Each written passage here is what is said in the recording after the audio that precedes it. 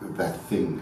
Um, it exists, and, and I always heard people, you know, 20, 30, 40 years of marriage, and, and I snickered because I didn't believe in it. I thought it was, again, an institution that didn't exist. Um, I had a good example of it, I just couldn't process it until I Shirley. Now I understand why people can't live with other, without other people.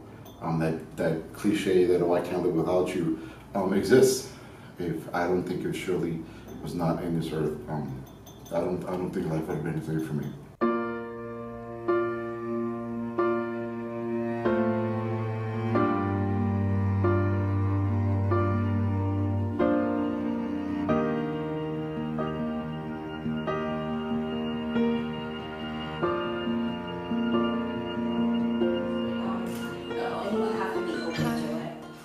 Good intentions, not bad intentions. So it definitely works because we did. And having just moved here to Miami, life is so different here, so fast paced. I think people get lost in how they think they should act and behave. And you kind of lose yourself a little bit. But I stayed true to that and I knew what I wanted and it worked out. Mm -hmm. He'll tell a different story though. we were in Publix, and I got just got out of the gym. This I was there like for like three, four hours that day. You know, I, I, that day was my cheat day, so I left early. And I'm like, yeah, I'm gonna go to Publix. You know, I used to live close to Brickell, so you know that Publix. The last thing you do there basically is get any food.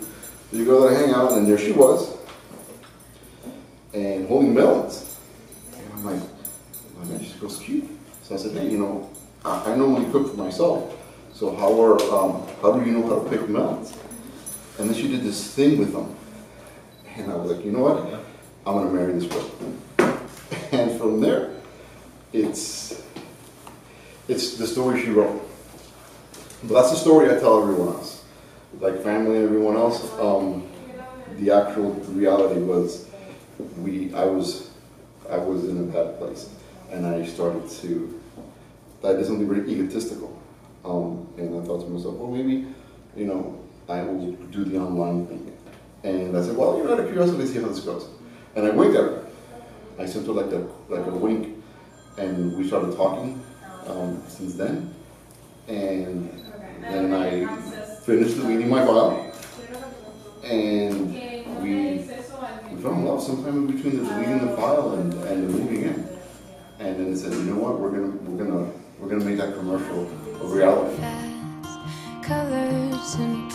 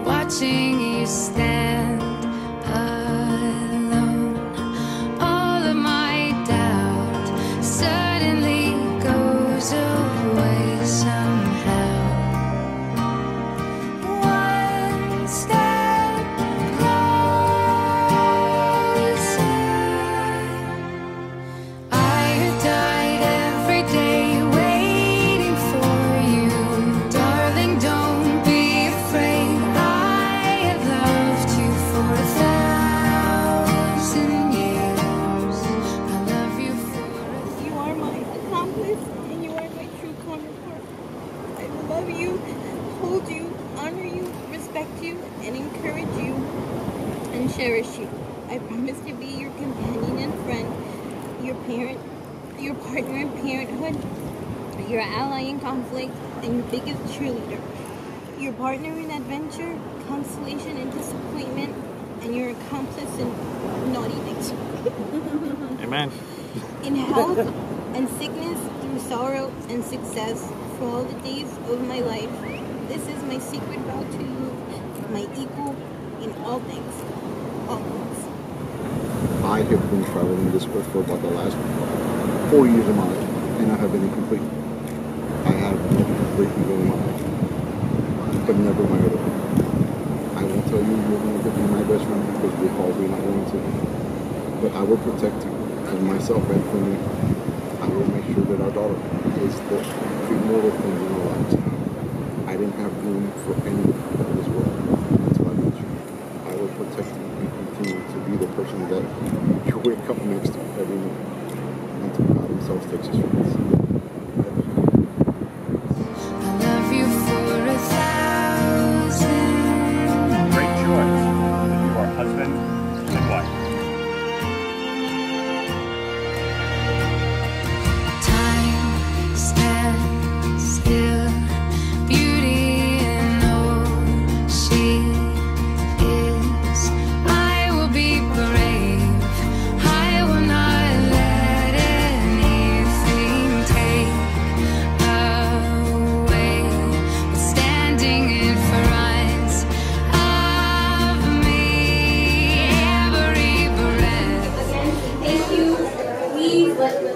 have a good time. Drink up. Cheers.